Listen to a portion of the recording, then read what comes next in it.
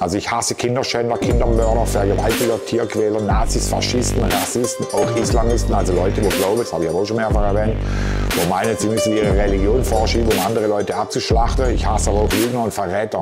Also das geht auch gar nicht.